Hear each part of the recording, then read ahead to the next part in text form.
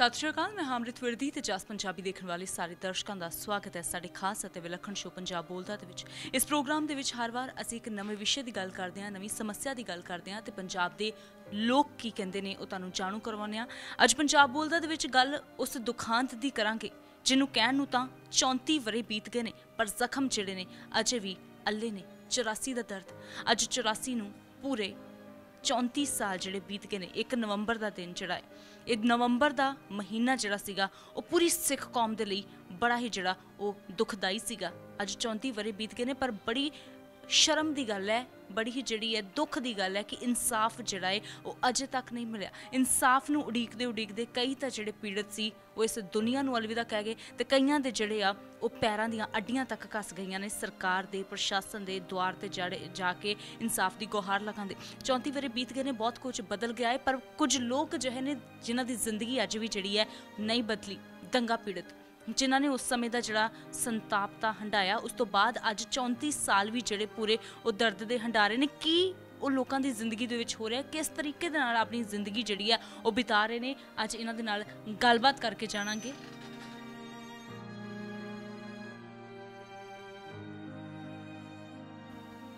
ਇਹ ਉਹ ਦੰਗਾ ਪੀੜਤ ਨੇ ਜਿਨ੍ਹਾਂ ਨੇ 34 ਵਰੇ ਪਹਿਲਾਂ ਜੋ ਕੁਝ ਦਿੱਲੀ ਦੇ ਵਿੱਚ ਹੋਇਆ, ਜਦੋਂ ਦਿੱਲੀ ਜਲ ਉੱਠੀ ਸੀਗੀ ਉਹ ਸਭ ਕੁਝ ਆਪਣੀਆਂ ਅੱਖਾਂ ਦੇ ਨਾਲ ਦੇਖਿਆ ਤੇ ਅੱਜ 34 ਸਾਲ ਬੀਤ ਗਏ ਨੇ, ਜਿੱਥੇ ਇੰਨੀ ਤਰੱਕੀ ਕਰ ਲਈ ਹੈ ਸਾਡੇ ਦੇਸ਼ ਨੇ, ਵਿਗਿਆਨ ਨੇ, ਅੱਜ ਵੀ ਇਹ ਲੋਕ ਜਿਹੜੇ ਨੇ, ਉਹ ਕੱਚੇ ਘਰਾਂ ਦੇ ਵਿੱਚ ਰਹਿਣ ਦੇ ਲਈ ਮਜਬੂਰ ਨੇ। ਤੁਸੀਂ ਦੇਖ ਸਕਦੇ ਹੋ ਕਿਸ ਤਰ੍ਹਾਂ ਦੇ ਹਾਲਾਤ ਨੇ, ਕਿਸ ਤਰ੍ਹਾਂ ਦੀ ਜਿਹੜੀ ਜ਼ਿੰਦਗੀ ਹੈ, ਉਹ ਬਤੀਤ ਕਰ ਰਹੇ ਨੇ।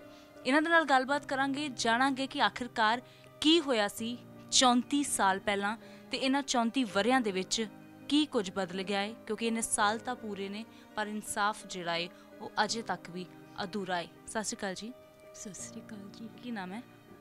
ਮੇਰਾ ਨਾਮ ਰਣਜੀਤ ਕੌਰ ਹੈ। ਰਣਜੀਤ ਕੌਰ ਜੀ 34 ਸਾਲ ਪਹਿਲਾਂ ਕੀ ਦੇਖਿਆ ਸੀ ਤੁਸੀਂ? ਕੀ ਹੋਇਆ ਸੀ? ਅਸੀਂ ਦਿੱਲੀ ਤੋਂ ਆਏ ਹਾਂ। ਤੇ ਸਾਨੂੰ ਮਤਲਬ ਮੇਰਾ ਬੇਟਾ ਹੋਣ ਵਾਲਾ ਸੀ, ਅਸੀਂ ਬਹੁਤ ਹੀ ਦੁਖੀ ਹੋ ਗਏ ਸੀ ਕਿ ਜਦੋਂ ਸ- ਮੇਰੇ ਆਦਮੀ ਨੂੰ ਮਾਰਨ ਲਈ ਆ ਗਏ ਸੀ ਤੇ ਕਹਿੰਦੇ ਸੀ ਕਿ ਬਈ ਅਸੀਂ ਤੂੰ ਤੁਹਾਡਾ ਆਦਮੀ ਕਿੱਥੇ ਹੈ? ਤੇ ਮੈਂ ਕਿਹਾ ਕਿ ਵੀ ਮੇਰਾ ਆਦਮੀ ਘਰ ਨਹੀਂ ਹੈ ਤੇ ਮੈਂ ਉਹਨਾਂ ਨੂੰ ਉਸ ਦਿਨ ਘਰ ਹੀ ਨਹੀਂ ਆਉਣ ਦਿੱਤਾ ਹੈਗਾ। ਸੁਭਾਸ਼ ਨਗਰ ਤੋਂ ਅਸੀਂ ਆਏ ਸੀ ਤੇ ਮੇਰਾ ਬੇਟਾ ਹੋਣ ਵਾਲਾ ਸੀ। ਅਸੀਂ 15 ਦਿਨ ਉਹਨਾਂ ਦੀ ਸ਼ਕਲ ਤੱਕ ਨਹੀਂ ਸੀ ਦੇਖੀ ਕਿ ਬਈ ਕਿੱਥੇ ਹਨ ਤੇ ਕਿੱਥੇ ਨਹੀਂ ਹੈ। ਸਾਡੇ ਕੋਠੇ ਤੋਂ ਧੂੰ ਧੂਏ ਨਜ਼ਰ ਆਉਂਦੇ ਸੀ ਕਿ ਬਈ ਜਦੋਂ ਉਹਨਾਂ ਦੇ ਗਲੇ ਦੇ ਵਿੱਚ ਟਾਇਰ ਪਾ ਕੇ ਸਾੜਿਆ ਗਿਆ ਸੀ ਸਾਡੇ ਲੋਕਾਂ ਨੂੰ। ਤੇ ਅਸੀਂ ਬਹੁਤ ਹੀ ਮਤਲਬ ਦੁਖੀ ਹੋ ਗਏ ਸੀ, ਬਹੁਤ ਸ- ਸੰਤਾਪ, ਇਹ ਸੰਤਾਪ 34 ਸਾਲ ਤੋਂ ਮੇਰਾ ਆਦਮੀ ਝੇਲਦੇ ਆ ਰਹੇ ਸੀ। ਉਹਨਾਂ ਦੀ ਦਿਮਾਗੀ ਟੈਨਸ਼ਨ ਹੀ ਇਸ ਤਰ੍ਹਾਂ ਦੀ ਹੋ ਗਈ ਸੀ ਕਿ ਅੱਜ ਉਹ ਇਸ ਦੁਨੀਆ ਵਿੱਚ ਨਹੀਂ ਹੈਗੇ, ਪਰ ਉਹ ਹੁਣ, ਸਾਨੂੰ ਛੋੜਾ ਦੇ ਕੇ ਚਲੇ ਗਏ ਨੇ।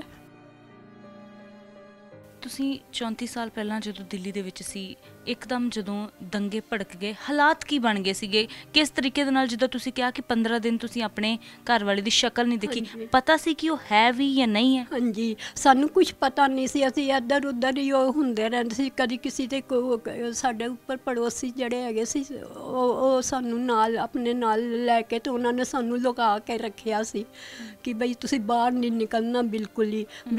ਸਾਡੇ ਤੇ ਕੋਠੇ ਦੇ ਉੱਤੇ ਹੀ ਆ ਗਏ ਸੀ ਕਹਿੰਦੇ ਸੀ ਤੁਸੀਂ ਆਪਣੇ ਆਦਮੀ ਨੂੰ ਬਾਹਰ ਕੱਢੋ ਆਪਣੇ ਆਦਮੀ ਨੂੰ ਬਾਹਰ ਕੱਢੋ। ਤੇ ਮੈਂ ਕਹਿੰਦੀ ਸੀ ਨਹੀਂ ਉਹ ਹੈ ਘਰ ਹੈ ਨਹੀਂ ਤੇ ਮੈਂ ਕਿੱਥੋਂ ਕੱਢਾਂ? ਤੇ ਤੁਸੀਂ ਆਪਣੀ ਜਾਨ ਕਿੱਦਾਂ ਬਚਾਈ?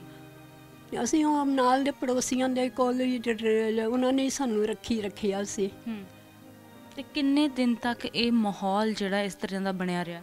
15 ਦਿਨ ਤੱਕ ਬਣਿਆ ਰਿਹਾ ਫਿਰ 15 ਦਿਨ ਤੋਂ ਬਾਅਦ ਸਾਨੂੰ ਮਤਲਬ ਜਦੋਂ ਇਹਦੇ ਘਰ ਆਏ ਤਾਂ ਉਹਨਾਂ ਨੇ ਕਿਹਾ ਵੀ ਅਸੀਂ ਇੱਥੋਂ ਜਿਸ ਤਰ੍ਹਾਂ ਵੀ ਖੜੇ ਆ ਨਾ ਤੇ ਉਸ ਤਰ੍ਹਾਂ ਹੀ ਨਿਕਲ ਜਾਂਦੇ ਆ।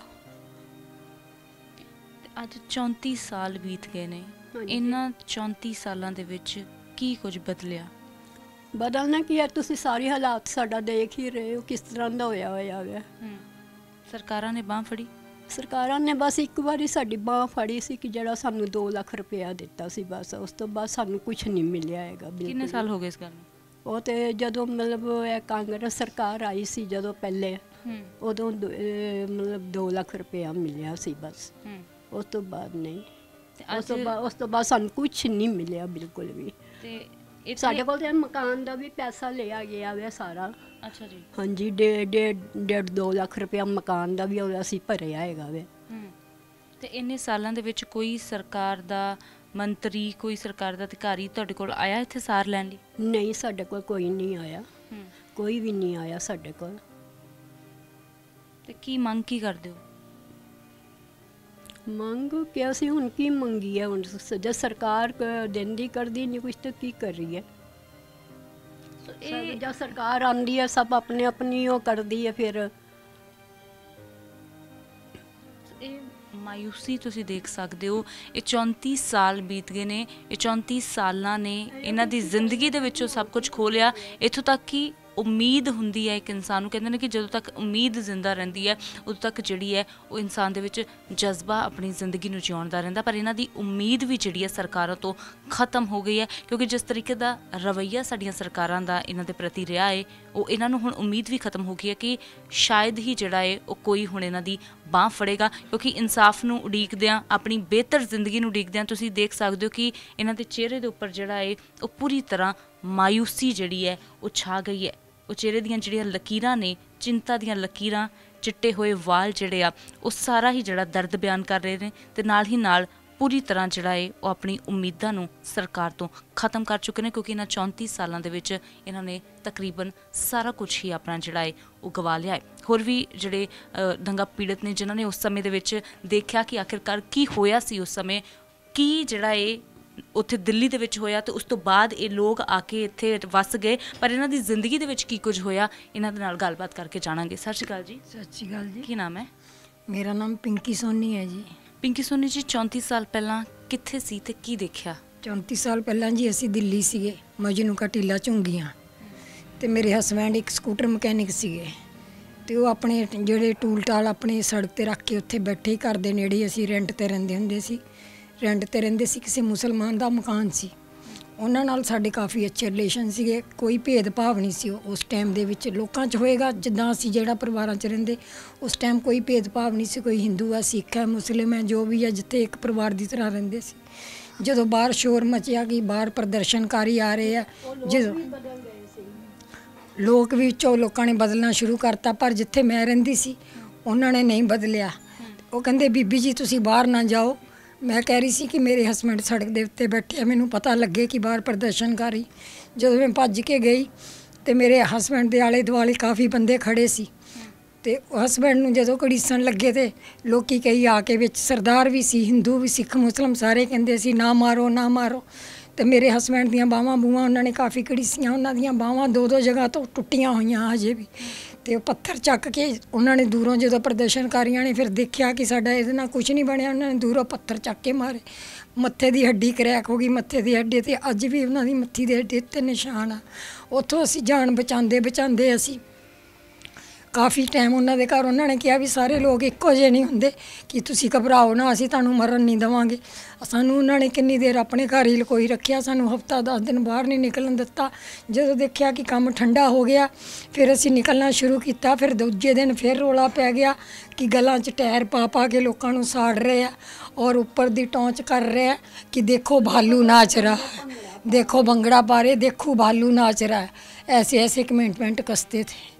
ਸ਼ਰਮ ਦੀ ਗੱਲ ਹੈ ਕਿ ਇੱਕ ਤਾਂ ਇਹਨਾਂ ਸੰਤਾਪ ਇਹਨਾਂ ਲੋਕਾਂ ਨੇ ਭੋਗਿਆ ਤੇ ਉਤੋਂ ਇਹਨਾਂ ਨੂੰ ਸਬੂਤ ਦੇਣੇ ਪੈ ਰਹੇ ਆ। ਸਬੂਤ ਮੰਗੇ ਜਾ ਰਹੇ ਨੇ ਕਿ ਤੁਸੀਂ ਆਪਣੇ ਵਜੂਦ ਦੇ ਸਬੂਤ ਸਾਨੂੰ ਦਿਓ ਕਿ ਵਾਕਈ ਤੁਸੀਂ ਜਿਹੜਾ ਹੈ ਉਹ ਪੀੜਤ ਹੈਗੇ ਹੋ ਵਾਕਈ ਤੁਸੀਂ ਜਿਹੜਾ ਹੈ ਉਹ ਸੰਤਾਪ ਭੋਗਿਆ। ਇਹਨਾਂ 34 ਸਾਲਾਂ ਦੇ ਵਿੱਚ ਜ਼ਿੰਦਗੀ ਦੇ ਵਿੱਚ ਬੱਚਿਆਂ ਦੇ ਉੱਪਰ ਕਿਸ ਤਰ੍ਹਾਂ ਦਾ ਪ੍ਰਭਾਵ ਪਿਆ? ਬੱਚਿਆਂ ਦਾ ਦੇਖੋ ਜੀ ਉੱਥੇ ਸਾਡੇ ਕੰਮਕਾਰ ਸੈੱਟ ਸੀਗੇ।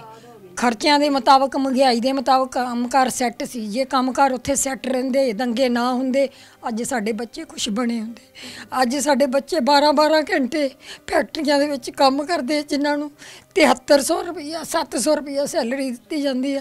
ਦੱਸੋ, ਉਹ ਮਾਂ-ਬਾਪ ਦਾ ਪੇਟ ਪਾਲਣ ਜਾਂ ਆਪਣੇ ਬੱਚਿਆਂ ਦਾ ਪਾਲਣ, ਉਹਨਾਂ ਦੀ ਜਿਹੜੀ ਘਰ ਗ੍ਰਸਤੀ ਆ ਉਹ ਵੀ ਬੜੀ ਨਰਕ ਬਣੀ ਪਈ ਹੈ। ਨਾ ਸਾਡੇ ਬੱਚੇ ਸੈੱਟ ਹੋਏ ਨਾ ਅਸੀਂ ਸੈੱਟ ਹੋਏ। ਮੇਰੇ ਹਸਬੰਡ ਨੂੰ ਕੰਨਾਂ ਤੋਂ ਵੀ ਨਹੀਂ ਸੁਣਦਾ। ਲੱਤ ਦੇ ਵਿੱਚ ਰੋੜ ਪਾਈ ਹੋਈ ਆ। ਬਾਹਾਂ ਦੋ ਦੋ ਜਗ੍ਹਾ ਤੇ ਤੋਂ ਟੁੱਟੀਆਂ ਹੋਈਆਂ। ਕੋਈ ਸਰਕਾਰ ਨੇ ਸਾਰ ਨਹੀਂ ਲਈ। ਆ ਖੁੱਡੇ ਸਾਨੂੰ ਦੇਤੇ। ਉਹ ਵੀ ਅਸੀਂ ਲਏ ਆਪਣੇ ਕੰਮ ਦੇ ਉੱਤੇ ਲਏ। ਉਹ ਵੀ ਸਾਡੇ ਇਹਨਾਂ ਨੇ ਗਮਾਡਾ ਨੇ ਜੋ ਵੀ ਹੈਗਾ ਗਮਾਡਾ ਉਹ ਵੀ ਇਹਨਾਂ ਨੇ ਕੈਨਸਲ ਕੀਤੇ ਪਏ ਮਕਾਨ। ਇਨਸਾਫ ਵੀ ਨਹੀਂ ਮਿਲਿਆ। ਇਨਸਾਫ ਸਾਨੂੰ ਮਿਲਣ ਦੀ ਕੋਈ ਹੁਣ ਉਮੀਦ ਹੀ ਨਹੀਂ। 34 ਸਾਲ ਹੋ ਗਏ। ਇਨਸਾਫ ਤੇ ਸਾਨੂੰ ਤਾਂ ਵੀ ਮਿਲ ਜਾਂਦਾ। ਜਿਨ੍ਹਾਂ ਨੇ ਦੰਗੇ ਕਰਾਏ ਉਹ ਸ਼ਰੇਆਮ ਦਿੱਲੀ ਦੇ ਵਿੱਚ ਘੁੰਮ ਰਹੇ ਆ। ਉਹਨਾਂ ਨੂੰ ਸਜ਼ਾਵਾਂ ਹੀ ਮਿਲ ਜਾਂਦੀਆਂ ਸਾਡੇ ਜ਼ਖਮਾਂ ਤੇ ਮੱਲਮ ਲੱਗ ਜਾਂਦੀ। ਜਦੋਂ ਸਾਨੂੰ ਕੋਈ ਮੀਡੀਆ ਵਾਲੇ ਵੀ ਆ ਕੇ ਚੀਜ਼ਾਂ ਦੁਬਾਰਾ ਸਾਡੇ ਜ਼ਖਮਾਂ ਨੂੰ ਹਰਾ ਕਰਦੇ ਆ ਦੱਸੋ ਅਸੀਂ ਕਿੰਨੇ ਕਿੰਨੇ ਮਹੀਨੇ ਫਿਰ ਉਸੇ ਸਟੇਜ ਤੇ ਆ ਜਾਂਦੇ ਸਾਨੂੰ ਫਿਰ ਉਹੀ ਸੀਨ ਯਾਦ ਆ ਜਾਂਦੇ। ਉਹੀ ਸਾਡੇ ਅੱਖਾਂ ਦੇ ਸਾਹਮਣੇ ਸੀਨ ਯਾਦ। ਬੱਚੇ ਸਾਡੇ ਰੋਲਦੇ ਫਿਰਦੇ। 12 12 ਘੰਟੇ ਪ੍ਰਾਈਵੇਟ ਬੱਚੇ ਕੋ ਨੌਕਰੀਆਂ ਲੈਂਦੇ ਆ। ਔਰ 7-7000 ਰੁਪਈਆ ਸੈਲਰੀਆਂ ਲੈਂਦੇ। ਉਹਨਾਂ ਦੇ ਆਪਣੇ ਵੀ ਪਰਿਵਾਰ ਆ, ਚੰਗੇ ਮਾੜੇ ਲੱਭ ਕੇ ਬੱਚਿਆਂ ਨੂੰ ਬੰਨੇ ਲਾਇਆ। ਹੁਣ ਬੱਚੇ ਕੋਈ ਕਿਸ ਤਰ੍ਹਾਂ ਆਪਣਾ ਪਰਿਵਾਰ ਪਾਲੇ, ਕਿਸ ਤਰ੍ਹਾਂ ਆਪਣਾ ਕੋਈ ਬਿਜ਼ਨਸ ਕਰੇ, ਕਿਸ ਤਰ੍ਹਾਂ ਮਾਂ-ਬਾਪ ਦਾ ਪੇਟ ਪਾਲੇ ਜਾਂ ਕਿਸ ਤਰ੍ਹਾਂ ਆਪਣੀ ਖੁੱਲੀ ਬਣਾਵੇ। ਅਸੀਂ ਤੇ ਸਰਕਾਰਾਂ ਦੇ ਅੱਗੇ ਕਿਹਾ ਸੀ ਕਿ ਜੇ ਸਾਨੂੰ ਤੁਸੀਂ ਇਹ ਮਕਾਨ ਦਿੱਤੇ, ਚਾਹੇ ਤੁਸੀਂ ਥੋੜੀ ਸਾਡੀ ਹੈਲਪ ਕੀਤੀ ਜਾਂ ਅਸੀਂ ਕਿਸ਼ਤਾਂ ਤੇ ਲਏ, ਸਾਨੂੰ ਕੋਈ 5-5 ਮਰਲੇ ਦਾ ਪਲਾਟ ਹੀ ਦੇ ਦਿੰਦੇ। ਚਲੋ ਅਸੀਂ ਕੋਈ ਲੋਨ ਨੂੰ ਲੈ ਕੇ ਸਾਡੇ ਬੱਚਿਆਂ ਨੂੰ ਕੋਈ ਸਾਹ ਆ ਜਾਂਦਾ, ਸਾਡੀ ਕੋਈ ਸਾਰ ਨਹੀਂ ਲਈ ਇਹਨਾਂ ਨੇ। ਉਲਟਾ ਸਿਆਸਤ ਕਰਦੀ, ਜਦੋਂ ਹੀ ਸਰਕਾਰ ਆਉਂਦੀ ਸਿਆਸਤ ਕਰਦੀ ਹੈ। ਕੋਈ ਨਾ ਕੋਈ ਮੁੱਦੇ ਉਠਾ ਲੈਂਦੀ ਆ, ਕਦੀ ਦੰਗਾ ਪੀੜਤਾਂ ਦੇ ਉਠਾ ਲੈਂਦੀ ਆ ਜੀ, ਕਦੀ ਕਿਹਦੇ ਉਠਾ ਲੈਂਦੀ ਆ। ਸਾਨੂੰ ਤਾਂ ਉਸ ਨਾਲ ਕੋਈ ਮਤਲਬ ਨਹੀਂ। ਉਹਨਾਂ ਸਮੇਂ 'ਚ ਸਾਡਾ ਨਾ ਕੋਈ ਕੰਮ ਹੋਇਆ।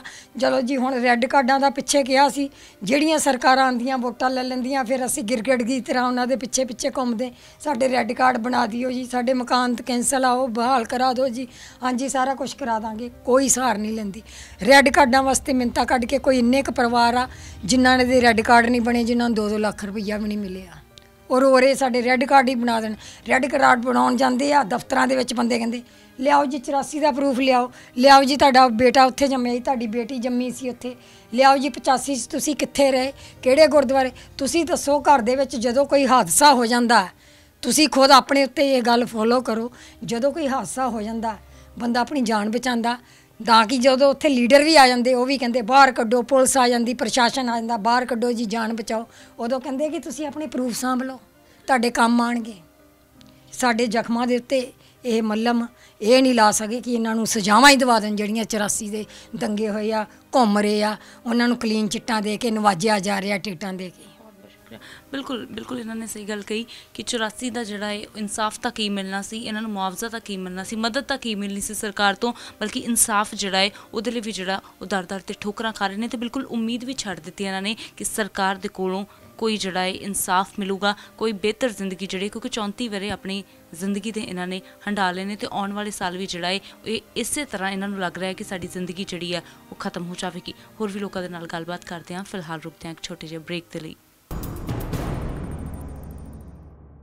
ਬ੍ਰੇਕ ਤੋਂ ਬਾਅਦ ਇੱਕ ਵਾਰ ਫਿਰ ਤੁਹਾਡਾ ਸਵਾਗਤ ਹੈ ਪੰਜਾਬ ਬੋਲਦਾ ਦੇ ਵਿੱਚ ਤੇ ਪੰਜਾਬ ਬੋਲਦਾ ਦੇ ਵਿੱਚ ਅੱਜ ਉਹ ਪੀੜਤ ਬੋਲ ਰਹੇ ਨੇ ਜਿਨ੍ਹਾਂ ਨੂੰ 84 ਦੇ ਪੀੜਤ ਕਿਹਾ ਜਾਂਦਾ ਹੈ। ਬੇਸ਼ੱਕ 84 ਨੂੰ ਅੱਜ ਜਿਹੜਾ 34 ਵਰਿਆਂ ਦਾ ਸਮਾਂ ਬੀਤ ਗਿਆ ਪਰ ਇਨਸਾਫ ਜਿਹੜਾ ਹੈ ਉਹ ਅਜੇ ਤੱਕ ਅਧੂਰਾ ਹੈ। ਉਹ ਲੋਕ ਜਿਹੜੇ ਦਿੱਲੀ ਤੋਂ ਇੱਥੇ ਆ ਗਏ ਇਸ ਉਮੀਦ ਦੇ ਵਿੱਚ ਕਿ ਸ਼ਾਇਦ ਬਿਹਤਰ ਜ਼ਿੰਦਗੀ ਜਿਹੜੀ ਹੈ ਉਹ ਉਹਨਾਂ ਨੂੰ ਜਿਉਣ ਦੇ ਲਈ ਮਿਲੂਗੀ। ਉਹ ਜਿਹੜੀਆਂ ਸਾਰੀਆਂ ਆਸਾਂ ਉਮੀਦਾਂ ਤੇ ਪਾਣੀ ਫਿਰ ਗਿਆ ਅੱਜ ਤੱਕ ਕਿਸੇ ਵੀ ਸਰਕਾਰ ਨੇ ਇਹਨਾਂ ਦੀ ਬਾਹ ਨਹੀਂ ਫੜੀ ਤੇ ਇਸੇ ਤਰ੍ਹਾਂ ਹੀ ਜਿਹੜਾ ਹੈ ਆਪਣੀ ਜ਼ਿੰਦਗੀ ਤੇ 34 ਸਾਲ ਜਿਹੜੇ ਵਾ ਉਹ ਇਹਨਾਂ ਨੇ ਦਰਦ ਦੇ ਵਿੱਚ ਹੰਡਾ ਦਿੱਤੇ ਨੇ। ਸਤਿ ਸ਼੍ਰੀ ਅਕਾਲ ਜੀ। ਹਾਂਜੀ। ਕੀ ਨਾਮ ਹੈ ਜੀ? ਮੇਰਾ ਗਜਨ ਸਿੰਘ। ਦਿੱਲੀ ਦੇ ਵਿੱਚ 34 ਸਾਲ ਪਹਿਲਾਂ ਤੁਸੀਂ ਕੀ ਦੇਖਿਆ ਸੀ ਕੀ ਹੋਇਆ ਸੀ ਸਾਡੇ ਨਾਲ ਉੱਥੇ ਜੋ ਕੁਝ ਹੋਇਆ ਉਹ ਤਾਂ ਰੱਬ ਹੀ ਜਾਣਦਾ। ਉਹ ਤਾਂ ਬਿਆਨ ਨਹੀਂ ਕੀਤਾ ਜਾ ਸਕਦਾ ਉਸ ਤੋਂ ਬਾਅਦ ਦੇ ਵਿੱਚ ਅਸੀਂ ਮਾਈਗ੍ਰੇਟ ਹੋ ਕੇ ਇੱਥੇ ਆਏ ਮਾਈਗ੍ਰੇਟ ਹੋਣ ਤੋਂ ਬਾਅਦ ਇੱਥੇ ਸਰਦਾਰ ਸਰਜੀਤ ਸਿੰਘ ਬਰਨਾਲਾ ਦੀ ਸਰਕਾਰ ਨੇ 15 12 1985 ਨੂੰ ਇੱਕ ਸਰਵੇ ਕਰਾਇਆ ਗਿਆ ਉਹ ਸਰਵੇ ਕਰਾਉਣ ਤੋਂ ਬਾਅਦ 624 ਦੰਗਾ ਪੀੜਤ ਪਰਿਵਾਰਾਂ ਨੂੰ ਦੰਗਾ ਪੀੜਤ ਮੰਨਿਆ ਗਿਆ। ਇੱਕ ਹੋਰ 108 ਦੀ ਲਿਸਟ ਬਣਾਈ ਗਈ। ਸੇ ਇਹਨਾਂ ਸਾਰੇ ਪਰਿਵਾਰਾਂ ਨੂੰ 624 ਦੰਗਾ ਪੀੜਤ ਪਰਿਵਾਰਾਂ ਨੂੰ ਹਾਈ ਕੋਰਟ ਦੇ ਆਰਡਰ ਤੋਂ 1991 ਦੇ ਵਿੱਚ ਮਕਾਨ ਅਲਾਟ ਕੀਤੇ ਗਏ। ਐਲਆਈ ਦੇ ਮਕਾਨ ਦੰਗਾ ਪੀੜਤ ਪਰਿਵਾਰਾਂ ਦੇ ਬੇਸ ਦੇ ਉੱਤੇ ਅਲਾਟ ਕੀਤੇ ਗਏ। ਇਹਨਾਂ ਦੀ ਕੀਮਤ 1999 ਦੇ ਵਿੱਚ ਤੈਅ ਕੀਤੀ ਗਈ। ਜਿਹਦੇ ਵਿੱਚ ਸਾਫ਼ ਔਰ ਸਪਸ਼ਟ ਲਿਖਿਆ ਗਿਆ, ਇਹਨਾਂ ਦੀ ਕੀਮਤ 33000 ਰੁਪਏ ਹੈ। 33000 ਰੁਪਇਆ ਤੋਂ ਬਾਅਦ ਕੋਈ ਇਹਦੇ ਉੱਤੇ ਵਿਆਜ ਜਾਂ ਦੰਡ ਜਾਂ ਕਿਸੇ ਕਿਸਮ ਦੀ ਕੋਈ ਵਸੂਲੀ ਨਹੀਂ ਹੋ ਸਕਦੀ, ਜਿਹਦੀ ਪਾਲਿਸੀ ਦੇ ਵਿੱਚ ਸਾਫ਼ ਲਿਖਿਆ ਹੋਇਆ ਲੁਧਿਆਣੇ ਦੇ ਵਿੱਚ ਕੋਈ ਇੱਕ ਵੀ ਵਿਆਜ ਨਹੀਂ ਲਿਆ ਗਿਆ, ਬਿਨਾਂ ਕਿਸੇ ਗੱਲਬਾਤ ਤੋਂ ਸਾਰੀ ਉੱਥੇ ਅਲਾਟਮੈਂਟ ਹੋ ਗਈ। ਪਰ ਅਸੀਂ ਸਾਡੇ ਕੋਲੋਂ ਲੱਖਾਂ ਰੁਪਏ ਵਸੂਲ ਕਰ ਲਏ, ਕਿਸੇ ਕੋਲੋਂ ਲੱਖ, ਡੇਢ ਲੱਖ, ਇਸ ਤੋਂ ਵੱਧ ਤੱਕ ਵੀ ਵਸੂਲ ਕਰ ਲਏ। ਇਹਦੇ ਵਾਸਤੇ ਅਸੀਂ ਪੁੱਡਾ ਦੇ ਉੱਤੇ ਕੇਸ ਵੀ ਪਾਇਆ। ਅਸੀਂ ਇਨਫੋਰਮੇਸ਼ਨ ਦੇ ਵਿੱਚ ਡਿਪਾਰਟਮੈਂਟ ਦੇ ਵਿੱਚ ਵੀ ਗਏ ਪਰ 2-3 ਸਾਲ ਧੱਕੇ ਖਾਣ ਤੋਂ ਬਾਅਦ ਸਾਡਾ ਕੇਸ ਉੱਥੋਂ ਰੱਦ ਕਰ ਦਿੱਤਾ ਗਿਆ ਬਿਨਾਂ ਕਿਸੇ ਗੱਲਬਾਤ ਤੋਂ। ਬਿਨਾਂ ਕਿਸੇ ਗੱਲਬਾਤ ਤੋਂ ਕੇਸ ਰੱਦ ਕਰ ਦਿੱਤਾ ਗਿਆ। ਸਾਡੇ ਕੋਲੋਂ ਜਿਹੜੇ ਵਸੂਲੀ ਰਕਮ ਪਹਿਲਾਂ ਮੈਂ ਅਸੀਂ ਉਹਨਾਂ ਕੋਲੋਂ ਵਸੂਲੀ ਹੋਈ ਰਕਮ ਦੀ ਲਿਸਟ ਲਈ ਉਹ ਨਹੀਂ ਸੀ ਦਿੰਦੇ। ਬੜੀ ਮੁਸ਼ਕਲ ਲਈ ਹੈ ਉਸ ਤੋਂ ਬਾਅਦ ਦੇ ਵਿੱਚ ਇਹ ਵਾਧੂ ਰਕਮ ਕਿਉਂ ਲਈ ਗਈ ਹੈ? ਇਹਦਾ ਅਸੀਂ ਕੇਸ ਪਾਇਆ ਸੀ। ਉਹਨਾਂ ਨੇ ਵਿੱਚ ਉਹਨੂੰ ਦਬਾ ਦਿੱਤਾ ਗਿਆ। ਕੇਸ ਰੱਦ ਕਰਤਾ। ਅੱਗੇ ਸਾਡੀ ਜਾਣ ਦੀ ਹਰ ਹਰ ਅਸੀਂ ਜਾਣਦੇ ਇਹਨਾਂ ਨੇ ਕੋਈ ਨਹੀਂ ਕੀਤਾ। ਅੱਜ ਜੋ ਦੰਗਾ ਅੱਜ ਦੀ ਜੋ ਗੱਲ ਹੈ, ਦੰਗਾ ਪੀੜਤ ਪਰਿਵਾਰ ਜੋ ਬੈਠੇ ਹੈ, ਕਿਸੇ ਕੋਲ ਕੋਈ ਜ਼ਮੀਨ ਜਾਇਦਾਦ ਨਹੀਂ। ਇੱਥੇ ਬਹੁਤ ਪਰਿਵਾਰ ਬੈਠੇ ਹੈ। ਜਿਨ੍ਹਾਂ ਕੋਲ ਕੋਈ ਜ਼ਮੀਨ ਜਾਇਦਾਦ ਨਹੀਂ, ਕੋਈ ਨੌਕਰੀ ਨਹੀਂ, ਕੋਈ ਪੈਨਸ਼ਨ ਨਹੀਂ ਔਰ ਕਿਸੇ ਕਿਸਮ ਦਾ ਕੋਈ ਇਨਕਮ ਦਾ ਸੋਰਸ ਨਹੀਂ। ਜਿਨ੍ਹਾਂ ਲੋਕਾਂ ਨੇ ਕੋਈ ਆਹ ਦੁਕਾਨਾਂ ਵਗੈਰਾ ਪਾਈਆਂ ਹੋਈਆਂ ਜਾਂ ਕੁਝ ਪਾਇਆ ਹੋਇਆ ਇਹ ਕਰਜ਼ੇ ਲੈ ਕੇ ਪਾਈਆਂ ਹੋਈਆਂ। ਹਰ ਸਾਲ ਇਹ ਕਰਜ਼ਾ ਵਿਆਜ ਨਹੀਂ ਮੋੜ ਸਕਦੇ ਵੱਧ ਜਾਂਦੇ ਆ। ਪਰ ਕੋਈ ਸਰਕਾਰ ਇਹਦੀ ਸਾਰ ਨਹੀਂ ਲੈਂਦੀ। ਨਾ ਇਹਨਾਂ ਇਹਨਾਂ 34 ਸਾਲਾਂ ਦੇ ਵਿੱਚ ਨਾ ਤਾਂ ਮੁਆਵਜ਼ਾ ਮਿਲਿਆ ਸਰਕਾਰ ਵੱਲੋਂ ਤੇ ਨਾ ਹੀ ਜਿਹੜਾ ਇਨਸਾਫ ਮਿਲਿਆ। ਕੋਈ ਨਹੀਂ ਮਿਲਣਾ ਨਾ ਉਹ ਤਾਂ ਮਿਲਣਾ ਨਹੀਂ ਹੁਣ। ਹਮ, ਤੇ ਉਮੀਦ ਹੈ ਹੁਣ ਤੁਹਾਨੂੰ? ਕਾਦੀ ਉਮੀਦ ਕਰੋਗੇ ਤੁਸੀਂ ਬਸ ਹੁਣ ਗੱਲ ਖਤਮ ਹੋ ਗਈ ਜੀ ਬਸ। ਸੋ ਬਿਲਕੁਲ ਜੀ, ਇਹ ਉਹ ਲੋਕ ਨੇ ਜਿਨ੍ਹਾਂ ਦੀ ਉਮੀਦਾਂ ਵੀ ਸਰਕਾਰ ਤੋਂ ਖਤਮ ਹੋ ਗਈਆਂ ਨੇ। ਬੇਸ਼ੱਕ ਜਿਹੜੀ ਸਰਕਾਰ ਹੈ, ਉਹ ਦਾਅਵੇ ਕਰਦੀ ਹੈ, ਪਰ 84 ਦੇ ਨਾਮ ਤੇ ਅੱਜ ਤੱਕ ਹਰ ਸਰਕਾਰ ਨੇ ਸੇਕੀਆਂ ਨੇ ਤਾਂ ਸਿਆਸੀ ਰੋਟੀਆਂ, ਚਾਹੇ ਕੋਈ ਵੀ ਪਾਰਟੀ ਹੋਵੇ, ਚਾਹੇ ਵੀ ਸਰਕਾਰ ਹੋਵੇ, ਪੰਜਾਬ ਦੇ ਵਿੱਚ ਵੀ ਸਰਕਾਰ ਬਦਲ ਗਈ ਹੈ, ਕੇਂਦਰ ਦੇ ਵਿੱਚ ਵੀ ਸਰਕਾਰ ਜਿਹੜੀ ਬਦਲ ਗਈ ਹੈ, ਪਰ ਇਹਨਾਂ ਲੋਕਾਂ ਦੀ ਜਿਹੜੀ ਜ਼ਿੰਦਗੀ ਹੈ, ਉਹ ਜਿਉਂ ਦੀ ਤਿਉਂ ਬਣੀ ਹੋਈ ਹੈ। ਇਹਦੇ ਵਿੱਚ ਜਿਹੜਾ ਹੈ ਉਹ 34 ਵਰਿਆਂ ਬਾਅਦ ਵੀ ਅੱਜ ਕੋਈ ਬਦਲਾਅ ਨਹੀਂ ਆਇਆ। ਹੋਰ ਵੀ ਲੋਕਾਂ ਦੇ ਨਾਲ ਗੱਲਬਾਤ ਕਰਾਂਗੇ। ਫਿਲਹਾਲ ਰੁਕਦੇ ਹਾਂ ਇੱਕ ਹੋਰ ਛੋਟੀ ਜਿਹੀ ਬ੍ਰੇਕ ਦੇ ਲਈ। ਬ੍ਰੇਕ ਤੋਂ ਬਾਅਦ ਇੱਕ ਵਾਰ ਫਿਰ ਤੁਹਾਡਾ ਸਵਾਗਤ ਹੈ ਪੰਜਾਬ ਬੋਲਦਾ ਦੇ ਵਿੱਚ ਤੇ ਪੰਜਾਬ ਬੋਲਦਾ ਦੇ ਵਿੱਚ ਅੱਜ ਉਹ ਪੀੜਤ ਬੋਲ ਰਹੇ ਨੇ, ਜਿਨ੍ਹਾਂ ਨੇ 34 ਸਾਲ ਦਾ ਜਿਹੜਾ ਹੈ ਅੱਜ ਸੰਤਾਪ ਹੰਡਾ ਲਿਆ, ਪਰ ਨਾ ਤਾਂ ਇਨਸਾਫ ਮਿਲਿਆ ਨਾ ਮੁਆਵਜ਼ਾ ਮਿਲਿਆ ਨਾ ਇੱਕ ਬਿਹਤਰ ਜ਼ਿੰਦਗੀ ਮਿਲੀ ਜਿਹੜੀ ਆਸ ਦੇ ਵਿੱਚ ਜਿਹੜੇ ਇਹ ਲੋਕ ਉਮੀਦ ਕਰਕੇ ਬੈਠੇ ਸੀ। ਤੇ ਅੱਜ ਤੁਸੀਂ ਦੇਖ ਸਕਦੇ ਹੋ ਕਿ ਆਪਣੀ ਜ਼ਿੰਦਗੀ ਜੀਣ ਦੇ ਲਈ ਇਹ ਲੋਕ ਜਿਹੜਾ ਹੈ ਕਿਸ ਤਰ੍ਹਾਂ ਜਿਹੜਾ ਆਪਣਾ ਬਸਰ ਕਰ ਰਹੇ ਨੇ ਕਿਸ ਤਰੀਕੇ ਦੇ ਨਾਲ ਜਿਹੜਾ ਹੈ ਉਹ ਗੁਜ਼ਾਰਾ ਕਰ ਰਹੇ ਨੇ। ਬੇਸ਼ੱਕ ਸਰਕਾਰਾਂ ਜਿਹੜੀਆਂ ਇਹ ਦਾਅਵੇ ਤਾਂ ਬਹੁਤ ਕਰਦੀਆਂ ਨੇ ਪਰ ਅੱਜ ਤੱਕ ਸਿਆਸੀ ਰੋਟੀਆਂ ਸੇਕਣ ਤੋਂ ਇਲਾਵਾ ਕਿਸੇ ਵੀ ਸਰਕਾਰ ਨੇ ਜਿਹੜਾ ਹੈ ਉਹ 84 ਦੇ ਪੀੜਤਾਂ ਦੇ ਲਈ ਕੋਈ ਵੀ ਜਿਹੜਾ ਕੰਮ ਨਹੀਂ ਕੀਤਾ ਹੈ। ਸਤਿ ਸ਼੍ਰੀ ਅਕਾਲ ਜੀ। ਜੀ। ਕੀ ਨਾਮ ਹੈ? ਮੇਰਾ ਨਾਮ ਗੁਰਦੀਪ। ਗੁਰਦੀਪ ਜੀ ਕਿੰਨੇ ਸਾਲ ਹੋ ਗਏ ਤੁਹਾਨੂੰ ਇੱਥੇ ਆਇਆ ਨੂੰ? ਮੈਨੂੰ ਇੱਥੇ ਆਏ ਨੂੰ ਮੈਂ 87 ਦਾ ਇੱਥੇ ਆਇਆ ਹਾਂ। ਤੇ ਜਦੋਂ 84 ਦਾ ਇਹ ਪੂਰਾ ਭਾਣਾ ਵਾਪਰਿਆ ਸੀ ਉਸ ਵੇਲੇ ਤੁਸੀਂ ਕਿੱਥੇ ਸੀ? ਜੀ ਉਸ ਟਾਈਮ ਅਸੀਂ ਰਾਜਸਥਾਨ ਸੀ ਹੂੰ। ਰਾਜਸਥਾਨ ਸੀ ਤੇ ਕੀ ਕੁਝ ਦੇਖਿਆ ਤੁਸੀਂ? ਪੁਰਾਣੀਆਂ ਗੱਲਾਂ ਨਾ ਕੁਰੇ ਤੋਂ ਚੰਗੀ ਗੱਲ ਹੈ। ਹੂੰ। ਬਹੁਤ ਬਹੁਤ ਬਹੁਤ ਹੰਡਾਇਆ ਸੀ। ਅਸੀਂ ਕੀ ਕੁਝ ਨਹੀਂ ਹੰਡਾਇਆ। ਬਸ ਪੁੱਛੋ ਨਾ। ਪਰ ਫਿਰ ਵੀ ਕੁਝ ਅਜਿਹਾ ਜਿਹੜਾ ਅੱਜ ਵੀ ਤੁਹਾਨੂੰ ਉਸ ਟਾਈਮ ਨੂੰ ਯਾਦ ਕਰਕੇ ਜਿਹੜਾ ਹੈ ਉਹ ਰੌਂਗਟੇ ਖੜੇ ਕਰ ਦਿੰਦਾ ਹੈ। ਦੇਖੋ ਪਤਾ ਕੀ ਘਰ-ਬਾਰ ਛੱਡਿਆ ਸਭ ਕੁਝ ਛੱਡਿਆ। ਚਲਦੇ ਚਲਾਏ ਕਾਰੋਬਾਰ ਛੱਡੇ। ਅੱਜ ਦੇਖ ਲਓ ਤੁਹਾਡੇ ਸਾਹਮਣੇ ਸੀ ਕਰੋੜਾਂ ਦਾ ਮਾਲਕ ਜਿਹੜੀ ਲਾਉਨੇ ਉਹ ਵੀ ਬਿਨਾ ਹਰ ਰੋਜ਼ ਸਾਨੂੰ ਪਰੇਸ਼ਾਨ ਕੀਤਾ ਜਾਂਦਾ ਸਰਕਾਰ ਦੇ ਤਰਫੋਂ। ਹੂੰ। ਚੱਕ ਲਓ। ਤੁਹਾਡੇ ਵਾਸਤੇ ਸਾਡੇ ਕੋਲ ਕੁਝ ਨਹੀਂ। ਕੋਰਟ ਹੈ ਜਾਲੀ ਹੈ ਕੋਰਟ ਵੀ ਇਹੀ ਕਹਿੰਦੀ ਹੈ ਵੀ ਜਾਓ ਸਰਕਾਰਾਂ ਦੇਣਗੀਆਂ ਤੁਹਾਨੂੰ ਮਗਰ ਸਰਕਾਰਾਂ ਸਾਨੂੰ ਕੁਝ ਨਹੀਂ ਦਿੰਦੀ ਆ ਦੇਖ ਲਓ ਅਸੀਂ 10 12 ਬੈਠੇ ਹਾਂ ਅੱਜ 25 ਸਾਲ ਤੋਂ ਤਾਂ ਇਸੇ ਜਗ੍ਹਾ ਤੇ ਬੈਠੇ ਹਾਂ ਹੂੰ ਯਾਨੀ ਕਿ ਮਦਦ ਤਾਂ ਕੀ ਮਗਰ ਕਰਨੀ ਸੀ ਉਹ ਤਾਂ ਹੋਰ ਤਸੀਹੇ ਨਾ, ਦੇਣੇ ਨਾ, ਸ਼ੁਰੂ ਹਰ ਕਰਤੇ ਰੋਜ਼ ਹਰ ਰੋਜ਼ ਪਰੇਸ਼ਾਨ ਕਰਦੇ ਆ, ਹਰ ਰੋਜ਼ ਹੂੰ ਬਿਨਾ ਨਾਗਾ ਹਰ ਰੋਜ਼ ਪਰੇਸ਼ਾਨ ਕੀਤਾ ਜਾਂਦਾ ਸਾਨੂੰ ਤੇ 84 ਦੇ ਸਰਕਾਰ ਵੱਲੋਂ ਇਹ ਦਾਅਵੇ ਕੀਤੇ ਜਾ ਰਹੇ ਕਿ ਪੀੜਤਾਂ ਨੂੰ ਜਿਹੜਾ ਹੈ ਮਕਾਨ ਅਲਾਟ ਕੀਤੇ ਗਏ ਕੁਝ ਮਿਲਿਆ ਕੁਝ ਨਹੀਂ 1-2 ਲੱਖ ਰੁਪਏ ਮਿਲੇ ਸੀ ਕਿ ਉਹ ਵੀ ਬੜੀ ਮੁਸ਼ਕਿਲ ਨਾਲ ਦਿੱਤੇ ਹੂੰ ਉਹ ਵੀ ਬੜੀ ਮੁਸ਼ਕਿਲ ਨਾਲ ਬਹੁਤ ਗੇੜੇ ਮਾਰੇ ਉਸ ਤੋਂ ਬਾਅਦ ਜਾ ਕੇ ਇਹਨਾਂ ਨੇ 2 ਲੱਖ ਰੁਪਏ ਦਿੱਤੇ ਮਗਰ ਉਹਨਾਂ 2 ਲੱਖਾਂ ਨਾਲ ਕੀ ਹੁੰਦਾ ਹੈਗਾ ਉਸ ਤੋਂ ਬਾਅਦ ਕਿਸੇ ਨੇ ਸਾਥ ਨਾ ਨਾ ਕਿਸੇ ਨੇ ਕੋਈ ਸਾਰ ਨਹੀਂ ਲਈ। ਇਹ ਕਿਸੇ ਸਰਕਾਰ ਤੋਂ ਵੀ ਅਸੀਂ ਕੋਈ ਮੰਗ ਕਰਦੇ ਹਾਂ ਜਦ ਵੀ ਅਸੀਂ ਜਾਂਦੇ ਹਾਂ। ਹਾਂ। ਹਾਂ ਕੋਈ ਨਹੀਂ ਤੁਸੀਂ ਚਲੋ। ਤੁਹਾਡਾ ਤੁਹਾਡੇ ਨਾਲ ਇਨਸਾਫ ਹੋਏਗਾ। ਮਗਰ ਉਹ ਇਨਸਾਫ ਦੇ ਇੰਤਜ਼ਾਰ ਕਰਦੇ ਕਰਦੇ ਦੇਖੋ ਜੀ ਮੈਂ ਮੈਂ ਉਦੋਂ 22 23 ਸਾਲ ਦਾ ਸੀ। ਅੱਜ ਦੇਖ ਲਓ ਤੁਸੀਂ ਮੇਰੀ ਹਾਲਤ ਕੀ ਹੈ। ਕਿੰਨੇ ਚਿਰ ਹੋਰ ਮੈਂ ਇਹਨਾਂ ਕੋਲ ਮੰਗਦਾ ਰਵਾਂਗਾ ਫਿਰ ਤੁਸੀਂ ਸੋਚਿਆ ਕਿ ਬਜਾਏ ਹੱਥ ਅੱਡਣ ਤੋਂ ਮੈਂ ਖੁਦ ਹੀ ਜਿਹੜਾ ਉਹ ਆਪਣਾ ਆਪਣਾ ਆਪਣਾ ਕੰਮ ਕਰ ਰਹੇ ਹਾਂ ਵੀ ਚਲੋ ਠੀਕ ਹੈ ਜੋ ਜੇ ਠੀਕ ਹੈ ਜਿੱਥੇ ਲੱਖੋਂ ਕਮਾਉਂਦੇ ਸੀਗੇ ਅੱਜ। 1500 ਨਾਲ ਗੁਜ਼ਾਰਾ ਕਰ ਰਹੇ ਹਾਂ। ਉਮੀਦ ਹੈ ਇਨਸਾਫ ਦੀ? ਹਾਂ ਇਹਨਾਂ ਸਰਕਾਰਾਂ ਤੋਂ ਕੋਈ ਉਮੀਦ ਨਹੀਂ। ਬਹੁਤ ਬਹੁਤ ਸ਼ੁਕਰੀਆ। ਸੋ ਬਿਲਕੁਲ ਇਹ ਉਹ ਲੋਕ ਨੇ ਜਿਨ੍ਹਾਂ ਨੇ ਉਮੀਦ ਵੀ ਜਿਹੜੀ ਹੈ ਉਹ ਛੱਡ ਦਿੱਤੀ ਹੈ। ਕੋਈ ਉਮੀਦ ਵੀ ਨਹੀਂ ਰਹੀ ਇਹਨਾਂ ਨੂੰ ਸਰਕਾਰਾਂ ਦੇ ਕੋਲੋਂ ਕਿ ਜਿਹੜਾ ਇਨਸਾਫ ਹੈ ਜਾਂ ਇੱਕ ਬਿਹਤਰ ਜ਼ਿੰਦਗੀ ਹੈ ਉਹ ਮਿਲੇਗੀ। ਸਤਿ ਸ਼੍ਰੀ ਅਕਾਲ ਜੀ। ਸਤਿ ਸ਼੍ਰੀ ਅਕਾਲ ਬੇਟਾ। ਕੀ ਨਾਮ ਹੈ? ਮੈਂ ਹਰਜਿੰਦਰ ਸਿੰਘ।